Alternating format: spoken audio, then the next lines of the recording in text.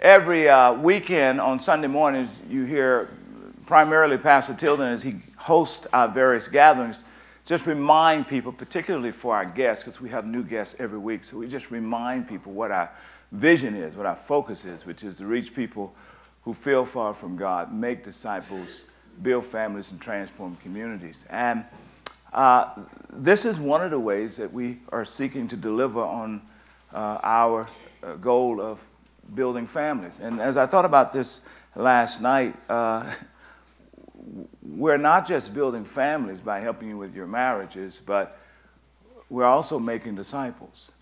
Uh, because if you read through the New Testament as Jesus teaches about what it means to be a Jesus follower, uh, at least 50, there are at least 50 one another's. Everybody say one another's throughout the gospel. Love one another, forgive one another, encourage one another, spur one another on, uh, rejoice with one another, cry with one another. And here's the point being a follower of Jesus is a whole lot to do with how you treat one another. Right?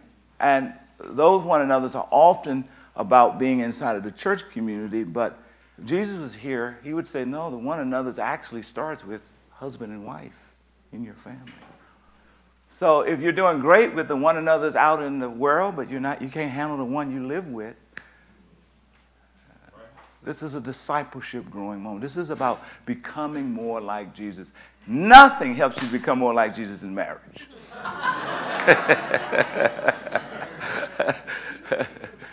and it is also transforming communities because we are convinced that if in fact you allow God to have his way in your marriage, that impacts the next generation.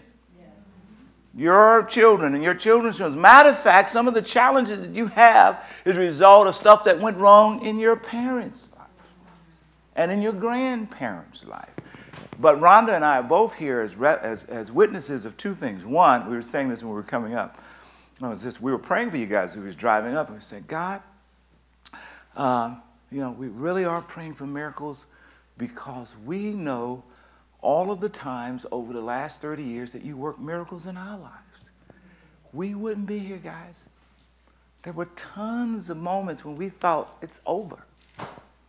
Let's just figure out how to settle the business and exit. But we're here because God is a miracle working God. Can we celebrate that? Praise God. All right, so we're praying for you guys. Lord, thank you for today. We're, you're certainly here.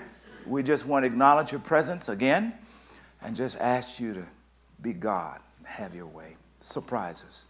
In Jesus' name, amen. All right, last night we got started and we asked the question. Let's throw the scripture up on the, on the, on the, on the screen. Uh, let's read the scripture together. Also, get rid of your anger, hot tempers, hatred, cursing, obscene language and all similar sin. Uh, today, we're still trying to wrestle with this question well, where did this stuff come from? How did it get into our relationships? And last night, we told you that one of the primary places it comes from happens to be uh, from our broken past. And we, we covered all the different ways in which our past often sneaks into our present. And we are completely unaware that it's our past that's influencing us. And Rhonda and I gave you an example of how that worked. Today, I want to cover the second point uh, because uh, oftentimes uh, anger and cursing and the way we feel about one another comes from our broken past, but also it often comes from our, what I want to call dead dreams. Everybody say dead dreams. Dead dreams, dead dreams are expectations that will not be realized or fantasies that we bring into the marriage. These fantasies that we, we expect to live out in our marriage and at some point we realize that, that, um, that they're just not real. Let's throw them up on the board. Let's go through some of these uh, uh examples where they are in terms of broken dreams inside our marriage. First is, is uh, oftentimes our dream or fantasy or expectation dies when the image of your partner is broken or destroyed it's, it's, it's, it's uh, uh, oftentimes when, for example, if infidelity shows up, totally destroys. Or you find out that one or the other of the partners is uh, engaged in pornography and it just shatters. Uh, or maybe there was a huge fight that broke loose and it became physical. And you never would have thought that it would have become physical, right? And all of a sudden, your image of who this person is is totally, totally destroyed. You go to bed with an angel, you wake up with horns. I mean, your image of your family life broken and destroyed.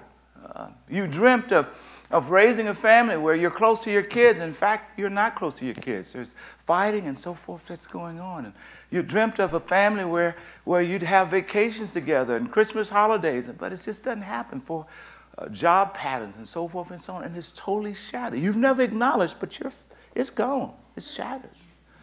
Or the realization that your partner now is different from the one who you married. They've changed because you've discovered something about them that you didn't know, or they've changed because something has happened along the course of time. They've, they've, they've changed because maybe there's a physical illness that takes place, there's a stroke or something, or uh, they've changed because mental health emerged, issues have emerged that you didn't know about before. Uh, you got married. They've, they've changed because the two of you have gone through a trauma together. Maybe you've lost a child, for example. And it totally has shifted the dynamics of, uh, of who, uh, who, each, who, who you are to one another. Or one of you have gone off to war and come back. A variety of ways. The person that you met, or they've changed because you learned something about them after you got married. Just had no idea before. Next, the realization that your partner will most likely never fulfill your most important expectation. This is a big deal, right? Because our, our fantasies and dreams that drive us into marriage often comes out of places uh, in our history where these are things that we never got, or these were things that were robbed from us. And we were just waiting until we met the right person because we just believed if I can meet him or if I can meet Mrs. Right, I, I can live this thing out and, and, and, and you have awakened sometime in the last few months or over the course of the last few years, and you realize that whatever that great expectation is with this partner, it probably will never happen. Now you're like, I'm trapped. And I'll never, ever have that something. It's a dead dream dead fantasy. And Finally, your image of self has been destroyed. Your own behavior inside of the marriage, or some of the stuff that you've gone through, some of the stuff that's come out of your mouth, you thought would never happen has literally helped to destroy how you see yourself. Or you've gone through a long period of unemployment, for example, and it's destroyed how you see yourself. You, you begin to think of yourself more of a failure. Or you're wrestling with your own physical health or your mental health. And, and, and it has totally shattered how you see yourself. You think of yourself in pretty ugly, horrible terms. You may not say it but you feel it. You believe it. As I said earlier, Rhonda and I have lived through all of this. And uh, so here comes Rhonda. Actually, for the rest of the conference, my goal is to show you exactly how Herman and I worked through one of our major challenges uh, in our marriage.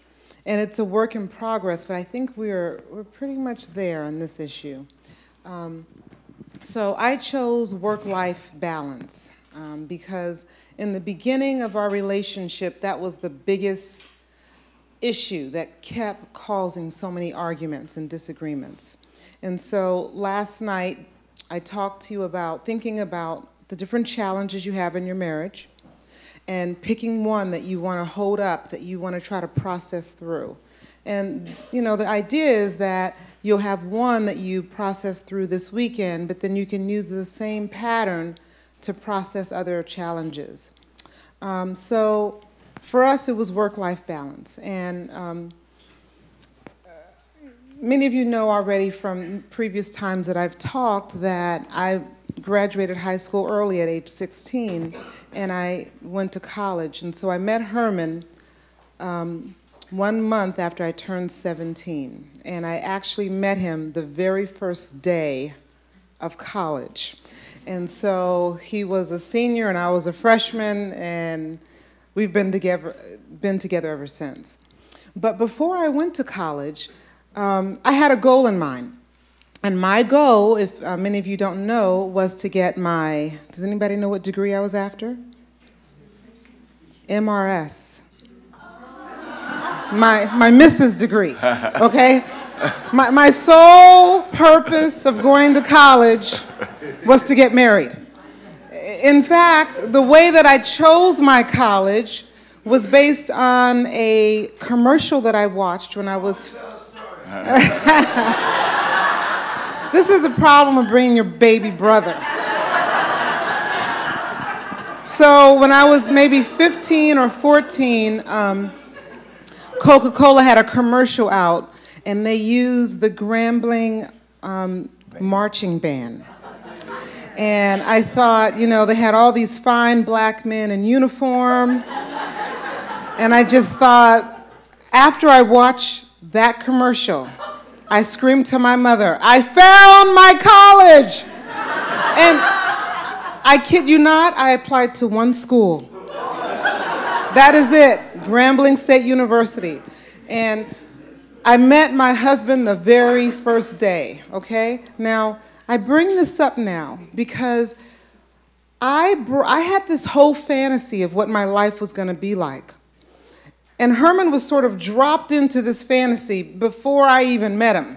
He just had to fulfill certain characteristics, and then he could fit into my mode of what my perfect family life was going to be. And when I got to college, you know, a lot of people make their, um, their college schedule based on when they study the best. You know, like morning people will have their hardest classes in the morning, and people who are like night people will have their hardest classes in the evening. Well, for me, since I was there for the task of getting my MRS degree, I made my classes, my class schedule around when Young and the Restless was playing. So Young and the Restless played from 11 to 12 every day. And so that meant that I definitely couldn't have any classes from 11 to 12 because I had to watch Young and the Restless.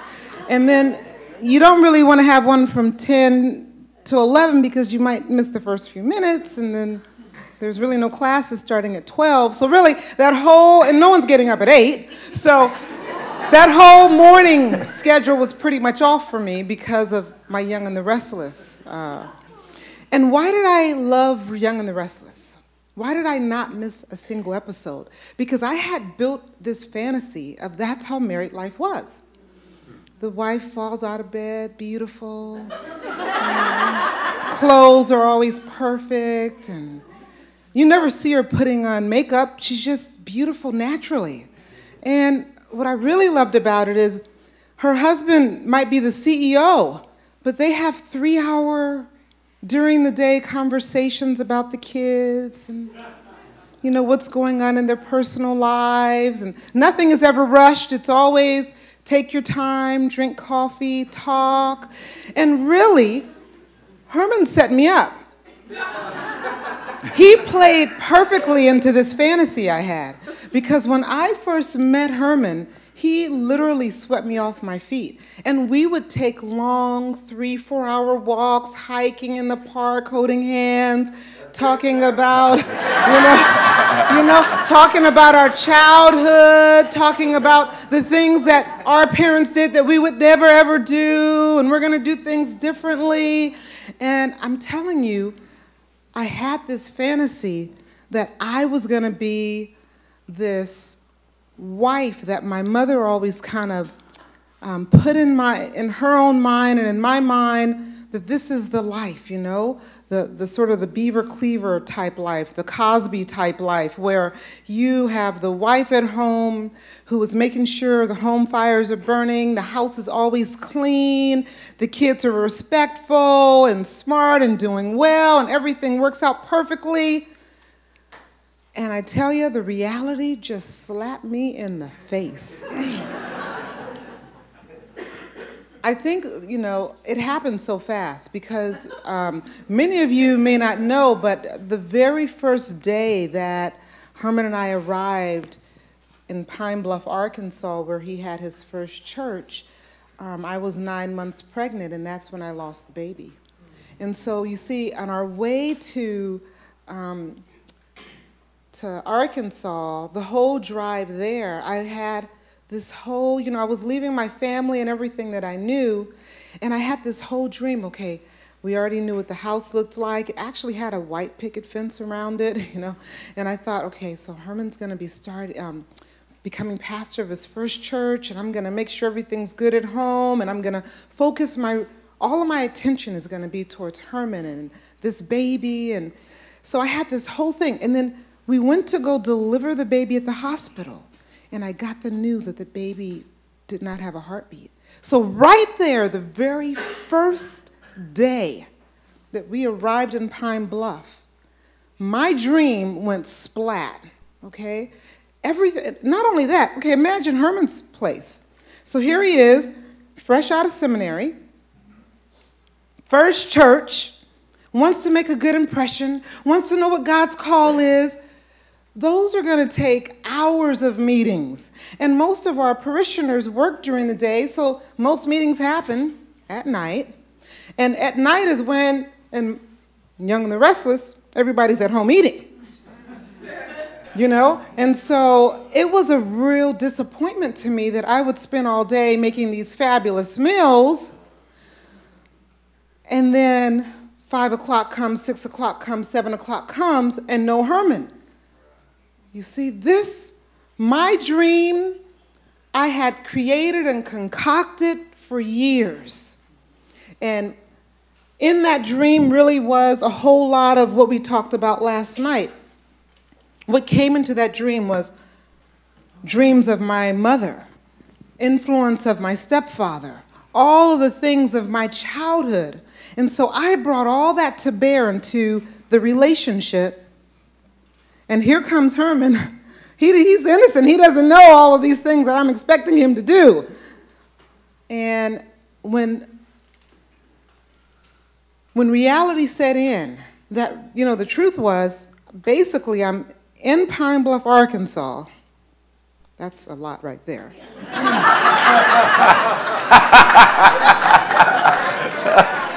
no offense to people from Pine Bluff maybe right. watching this video.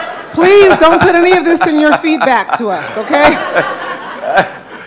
For me, it was difficult, okay, because I was born and raised in San Francisco, okay? And I was born and raised in a home, you know, before my mother remarried, she was a foster mother. And so in our home, we had um, she took in girls. And so we had white girls and Asian girls and Latino girls. And I grew up in a melting pot. That's what my home was like because my mother was a foster mother. She always wanted to stay home and be home with us. And she said that's a job she could do and still be home. And so going from that to Pine Bluff, Arkansas, where everything is split down the middle, that was the first culture shock, you know, that I had. And then this whole idea of my husband being home and being there, that was another big disappointment then, of course, the loss of the baby. Ugh, can't even, that's just huge. So every part of my dream collapsed right in front of me. Good. Very good. Now, I just want you to just take what you've just heard, just drop it in these points here, right? The image of your partner broken and destroyed. This, this partner who's going to come home for five o'clock and be there. And remember, we're all grieving. So I'm grieving she's grieving. Most, a lot of men, when we grieve, we don't come home. We what? We, we work. We work, right? So that's what, and, and then coming home to, to a, a, grieving wife reminds me of all what I couldn't do to save the baby and to save her. So I'm working, I'm working. So this person who she felt loved her so, so what, doesn't even want to, it translates to her, doesn't even want to be around her. Work is more important. So this whole image of the partner is totally shattered. Who did I marry? In the middle of this horrendous grief. Right? This image of the family life has been totally shattered. Here's our first baby. She was nine months pregnant. She had had a healthy pregnancy. This is a matter of days before she's supposed to give birth. Can you imagine all the expectation, anticipation, and dreams, and then all of a sudden it's lost? That's shattered. Uh, it's, it's not here, but we should put here huge questions about God. I'll talk about this in a minute. That pops up on the scene like, God, where have you been? What's up with this? We're trusting you, believing you. Boom. So I don't think I can, you know, really what's going on is I'm not sure I can depend on God. Can't depend on my husband. Get me out of here. Total, complete shattering. And so you can imagine the fights that breaks out at home, uh, et cetera, et cetera, et cetera. Now, I want you to think about this. Think how angry one becomes when you realize that your ultimate dream has been snatched from you. And you cannot have it. If I say anger, that fantasy will not happen. Anger. And that's what's going on with some of you. Your fantasy, your expectation that you had when you got in marriage is shattered by a thousand different reasons. And it's gone. And, and the reason why you wake up full of anger is because your dream is dead. And when you look at her, you look at him, he or she reminds you, and you want to say it's your fault. It's your fault. So, what I had to do was um, actually, that dream had to be buried. God had to bury that dream, and we had to resurrect a new dream. And that was a painful situation. Um, some of you have heard me give my testimony before. You know that the Lord speaks to me in very dramatic ways, like the way He spoke to me to come into medicine. Um, I don't think I've ever told the story of how God pointed Herman out to me as my husband. So, very dramatic. Um, and I think the Lord does that because um, I, you know, because I am so, I'm so dense in a way, you know, because, and I'm so bullheaded and strong headed that I want it to be done my way. So he, maybe for some of you, you're so much more flexible but for me, I really think I know what I need and what I want. So the Lord had to be very um, dramatic in the way He shows His will for me.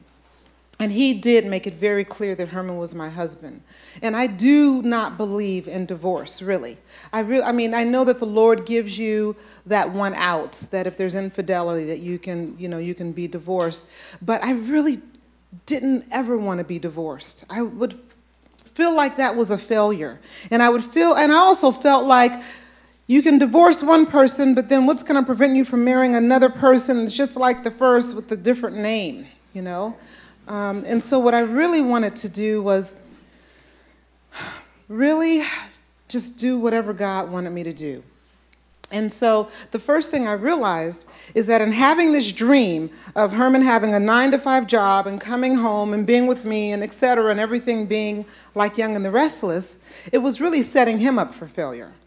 Because if you think about the type of job that he has, it's impossible to work a 40 hour work week being a pastor of a, of a church where your parishioners work during the day, you cannot be home at five o'clock because that's when all the meetings start to happen. And so I set him up. On one hand, I wanted a husband who was passionate about his work, who really, uh, you know, strives for excellence. And on the other hand, I wanted him to fall into line. Don't leave too early in the morning and don't come home too late at night either. And so I put him in a situation where he couldn't succeed my expectations were actually impossible. There was this um, movie, I don't know if you guys ever watched it, Jerry Maguire. Um, and then there are some great scenes, and I, I, even though I feel like the Lord has, you know, mostly delivered me from my fantasy, every once in a while, you know, something will come along and I'll just kind of bask in it. So Jerry Maguire was that movie. You remember the, uh, the line, you complete me? Yeah. Right? And so I was like, yeah, you complete me, you know, so romantic. But you know what? Herman shouldn't complete me. If Herman completes me, that means, okay, as relates to, um, you know, handling the money, I'm only 25%, so that means he has to be 75%. If you think about it, if someone completes you, whatever your deficit is, they have to be exactly that in order to make a whole. That is completely unfair. We are not puzzle pieces that fit perfectly. We're not Tetris. It's just not fair or realistic to put an expectation on Herman that because I'm an introvert and I like to spend most of my time with me, but I want you home at a certain amount of time, but not too much. Talk to me for, you know, an hour, but then I need my space. it's ridiculous. Nobody can be that, uh, you know, that would be a machine or a robot, not a real person. And so I realized okay, my dream is unrealistic. I'm setting my husband up for failure. And really, let me just say it it is not Herman's responsibility to complete me. It is my responsibility to come as whole as I can and any deficits that I have, I put that on the table as this is what I need help with. In fact, let's go back to last night a little bit. So, as you know, um, my stepfather had a big influence on me, and I have to say, he was quite a brilliant man. He was a linguist. He learned how to speak five lingu uh, languages fluently after the age of 30. He, you know, he, he tested in the, in the IQ range of a genius. This man was actually brilliant. I think brilliant people also can be, you know, everyone has their flaws. And so one of the things that he did was he, around food, like I said, there was a lot of control. And he used to assign value to people based on the food that they would eat. Remember, I told you, if we went to a restaurant and somebody put ketchup on her, their eggs, he'd give this look like, hmm, you know, poor breeding. Uh, And if we had spaghetti at, at a restaurant or at someone's house, if you mix the pasta with the meat sauce, that's a no no. You definitely have to have your pasta al dente. That means to the tooth, apparently in Italian. And the, the pasta has to be exactly right, and the pasta sauce goes on top. That's how you eat spaghetti. And if you eat it a different way, you're low class. Now, in my logical, analytical mind, I know that is absolutely ridiculous. However, I bring up that example because I have to actually fight with myself that when I go into Denny's and I see someone put ketchup on their eggs, not to think poor breeding. I mean, it is a part of whatever you learn from zero to 10 years old, it is ingrained, it becomes instinctual. So I bring this up because many of you come into your arguments and into your challenges with your mother or your father or whoever raised you in the room, and you hold on to things tightly that if you really stepped back, you'd be like, you know what, this is kind of ridiculous. And you could go left or you could go right. There's no right way here. I don't believe there's anywhere in Scripture that says it's low breeding to have ketchup on your eggs. And so, really, the Word of God has to be the foundation of everything that I believe. So, really, when my dreams, when I allow my dreams to die, my husband is not going to be home at five o'clock. He is not going to complete me. I don't get to be a deficit in several different areas and expect him to step up and just exactly right at those areas. Once I allowed that immature, selfish dream that really had nothing to do with Herman, we didn't come up with that dream together. Once I gave that up, that's when God was able to call me into what He wanted for my life. Okay.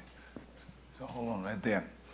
So let me take you through a text real quickly I want to come back to this place, and I want you to hear what happened when Rhonda was able to give up this dream. But I want, I want, I want to just show you this pattern in, in the biblical text. So, uh, the Gospel of John, chapter 11, one of my favorite passages. You'll uh, be familiar with the story. If you haven't, go home and read it. I'm going to pick up a few verses here, but go home and read it together. That would be fabulous. Or go back to your cabin or go out and just hang out and read it or read it tonight. It's great. Let me just summarize the story. So, whenever Jesus would go to Jerusalem, Bethany was about uh, a couple of miles away, and Mary, Martha, and Lazarus, two sisters and a brother, lived in Bethany. He'd go and, and hang out with them, spend the night with them, and the text reminds us that they were extremely close. He loved them enormously. And uh, as the text unfolds, Lazarus gets sick. And uh, Mary Martha sends word to Jesus. And the word to Jesus is the one that you love is dying. Meaning, so implication come heal, come save, come preserve.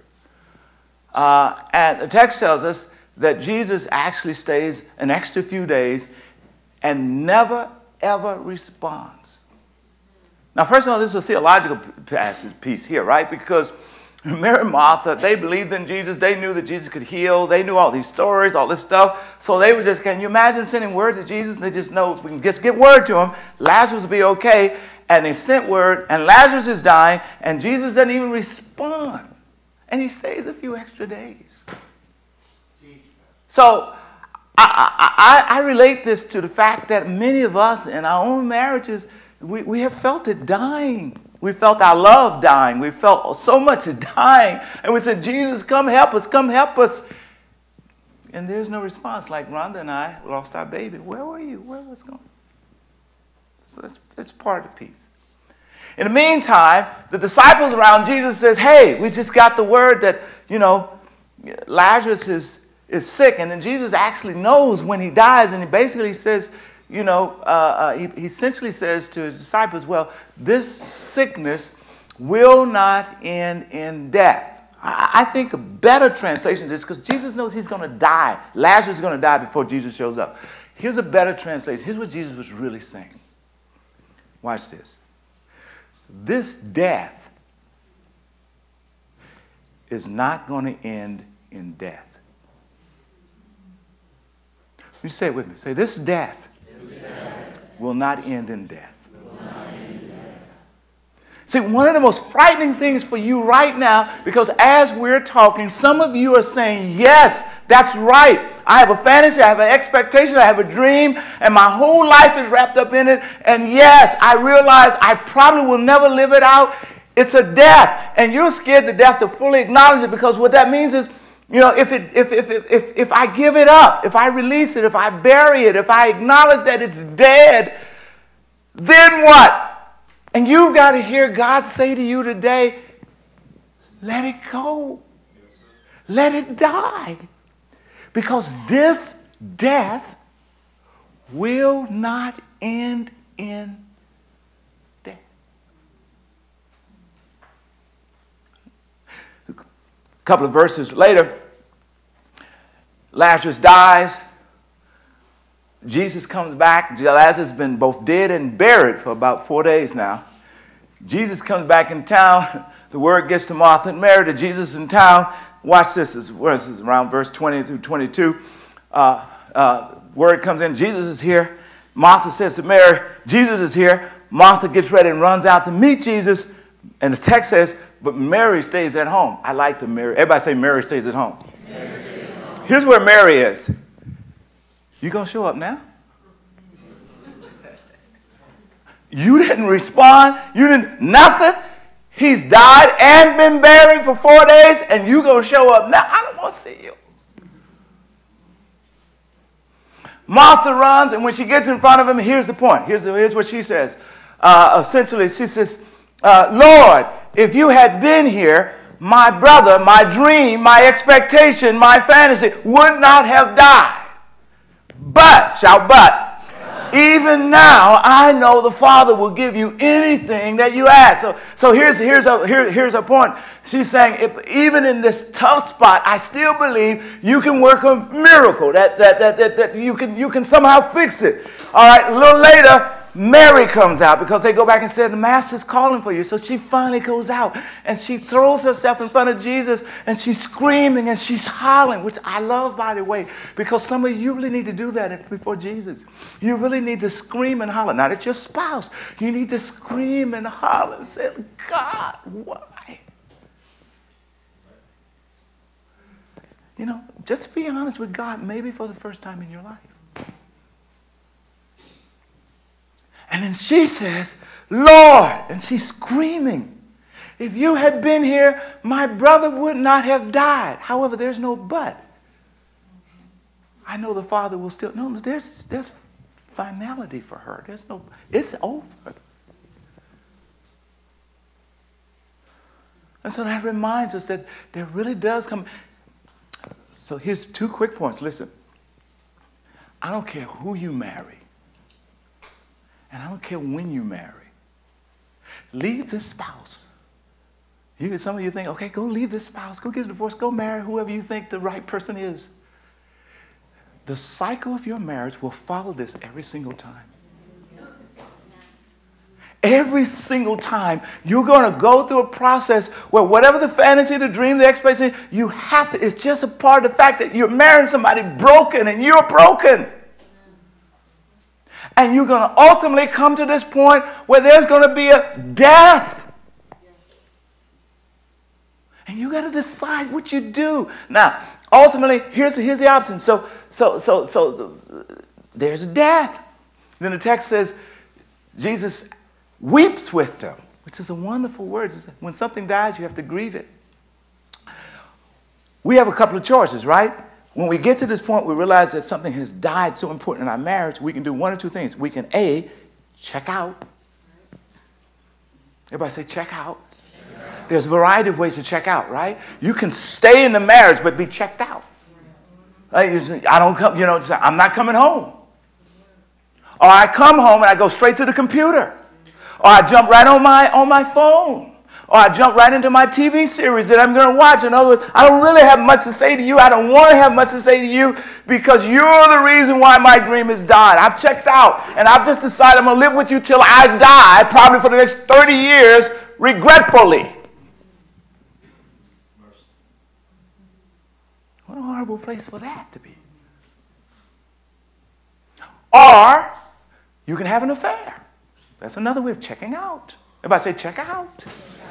I, I, stay here, but I'm trying to get, but really that's a fantasy, right? Right? Because whoever you're having the affair with, that's detached from reality. Because they don't have to do bills with you. They don't have to do children with you. Come on, it, it, it's just, it's just like, it's just living out your fantasy. You're just detached from reality. Or you can divorce. Or you can decide to let it die. And believe that God is saying this death will not end in death. You can let it die. You can grieve the loss of it. You have to grieve it. You have to acknowledge it. It's not coming back. It's over. I've got to grieve it. I've got to cry. I've got to express my anger. I've got to go through the process of grief. I've got to grieve it. When Jesus says, Where did you bury it? Show me where you laid him. Show me where you buried him. Here's the point. If you can let it die and bury it and grieve it, then that sets up the miracle. That's where Jesus shows up at the grave and he Christ speaks into the dead and he says, Come out. And something new emerges. Ron's going to talk about that part of her story. Let me just say a couple of words. One is that um, my call from God, as I said, was quite dramatic, and I think many of you have already heard my testimony. But I think the main point of it is this.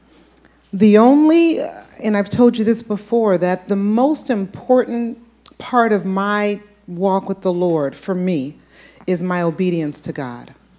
And I really believe that if I'm obedient to God, He's going to take care of me. And it was really a part of me being obedient to God that I gave up my dream, my young and the restless lifestyle dream, my Beaver Cleaver's family lifestyle dream. Um, and it was only then that God was able to actually speak to me. Yes. And you know, when He did speak to me, it came from a place that I had no, I didn't put much value because my mother had put such value on the wife staying at home and raising the kids and taking care of the home that when God spoke to me about becoming a physician, it totally and completely threw me off guard. But I was able only to hear it then. Now, maybe God was, maybe He wanted to speak to me before and I couldn't hear it, but I could only hear God's call in my life when I had given up the dream and let it die, as Herman just talked about, and believed in God that, okay, I'm letting this whole lifestyle of this family life that I have concocted, that's in the media, that's in all the fantasies, Cinderella, rescue me, you know, um, and I'm gonna let that die. And then I'm left with nothing, like this vacuum. Okay, now what? And then God really gave me the now what. Then I was able to hear the now what. And then me and Herman together were able to create a brand new family life structure. That it wasn't just me and he has to fill in a, spot that I've predestined for him, but it was really the two of us together saying, okay, what does God, first of all, what does God have for us? And how does God's calling on Herman's life as a pastor and my life as a physician, how does that how does that bring us together and what kind of life will we have? And that is the beauty of it that God's plan is so much better than the plan that I concocted. Our life now is so much better than the one, than the young and the restless one. You know, it really is so much better. But I couldn't hear it until God, until I allowed what I wanted to go away, to die. Then God could step into the driver's seat. All right. So, get this as we bring this to a close.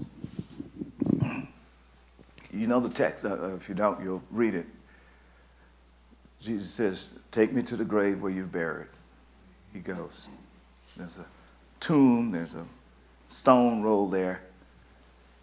Jesus says, So that they might believe, and for your glory, Father, hear this prayer.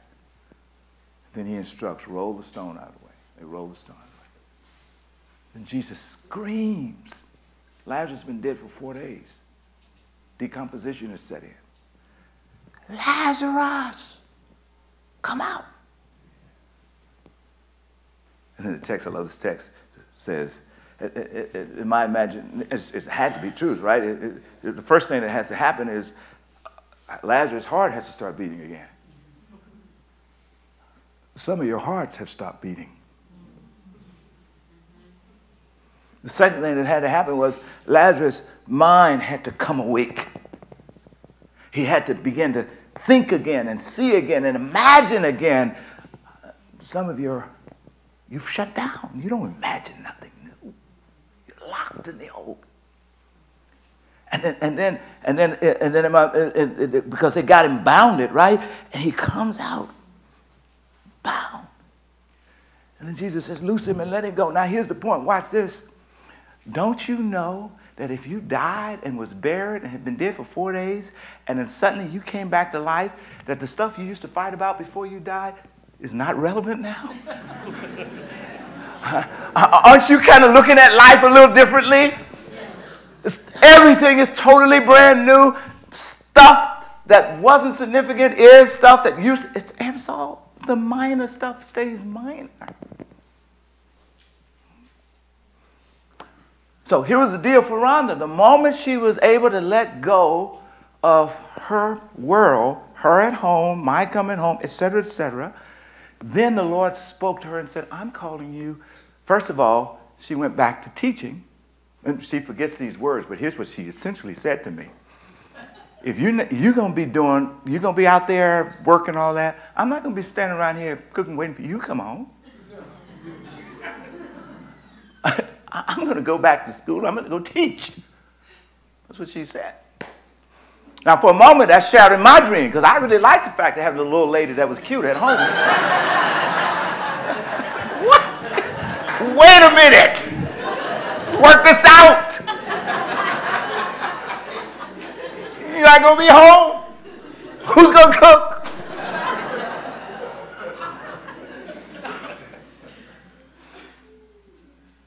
Course, I realized something about everybody shout empathy. I mean, I, I, realized that she was in a lot of pain, and so, so, so it was, it was, it was just cruel for me to try to hold on to her in my fantasy, right? I had to let her go. I said, okay, we'll figure it out. I'll make oatmeal.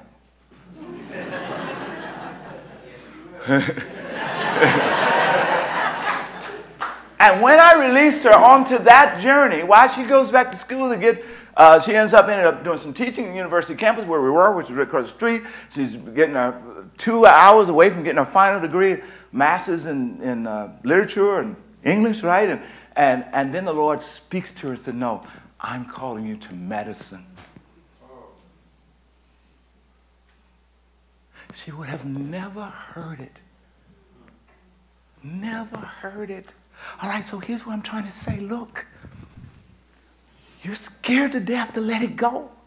You're scared to death to acknowledge he's never going to be the man that I imagine him to be. You're scared to death to acknowledge she's never going to be the woman I imagine her to be. And so you're thinking about how do I get out of here? Or you're trying to prop up this dream. You guys remember the, uh, the movie uh, Weekend with Bernie? It's one of my favorite movies. I like this. This is such a weird, but it's very insightful movie, right? Bernie visits and he dies.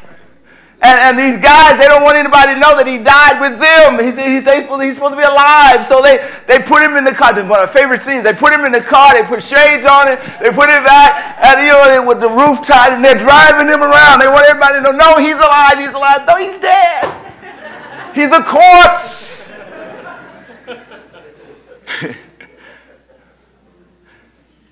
Y'all, some of y'all are riding around trying to hold up a corpse.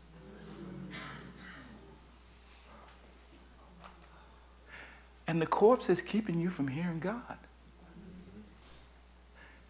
Bury it.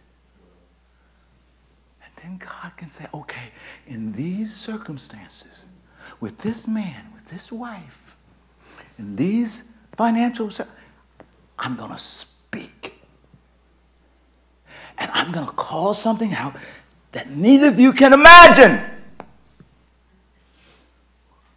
If I hadn't let her go so she'd go back to school and, she, and buried mine and she buried hers, to Lord, he said we wouldn't be here. We couldn't imagine how our world would change and she would end up being an amazing doctor and physician and freeing me to be the pastor that I would become and how together we'd be here today. We couldn't see it then. Tell somebody, let it die. Now say this, because this death, say it, will not end in death. Come on, give God a hand praise. He's waiting to speak. Let me give you homework. So this sheet gives you the opportunity to put down in paper what challenge you decided to work on this weekend. So for me and Herman, we would put in the first slot here um, work-life balance.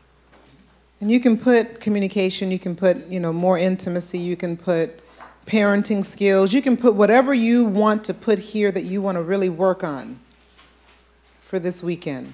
And then the second slot is going to be what is your dream? And that's the reason why the one each helps.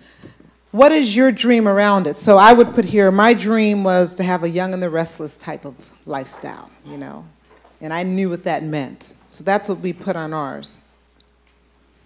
For you, if it's finances, you may say to accumulate wealth. You may say for parenting to raise children who love God and are respectful. You know, whatever your dream is around it, not to say it's a bad dream, just put whatever your dream is. Fantasy. Whatever your fantasy is, whatever it is, you're going to put that there. And then this is the part where you have your own stick figure. And you're going to put what brought you to the place that you are right now as relates to whatever your challenge is. So let's say you put sex here in the lack of intimacy. And your dream was, you know, to have good sex twice a week with your husband. I don't know. Whatever your dream was around it. Then for for where you are with, you know, you're not actually meeting your own goals, you can put what influenced you. Was it some trauma that happened? Maybe some old relationship where there was infidelity or um, maybe there was some improper touching happen and so now or maybe it's this is your one stronghold of power in the relationship and you're going to use it as a manipulation tool i don't know where you are with it i don't know how you came to not be able to meet your own dream or meet your own expectation but that's what you're going to put arrows to that Broken, and you can you know so broken dreams and broken past. and a broken past. Here are some ideas just to kind of spur your memory on. The little check boxes at the bottom.